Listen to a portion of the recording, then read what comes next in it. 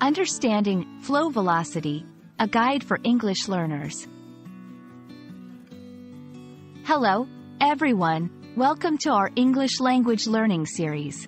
Today, we're going to explore the meaning of the phrases flow and velocity and how they combine to form the term flow velocity.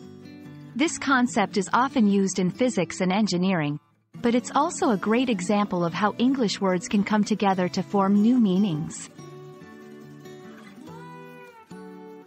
Before diving into flow velocity, let's understand each word separately.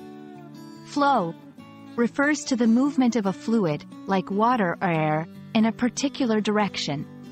It can also mean the smooth progress or movement of anything, not just liquids.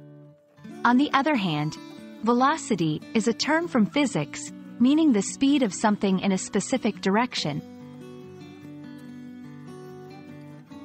Now, let's combine these two ideas.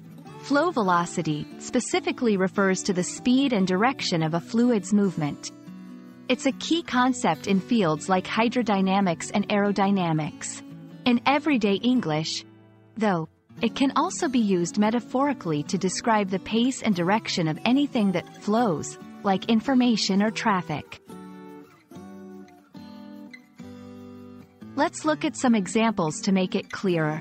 In a river, the flow velocity determines how quickly the water moves downstream.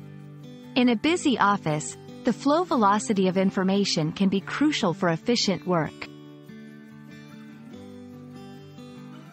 I hope this video has helped clarify the meaning of flow velocity and how English words can combine to form new, specific meanings.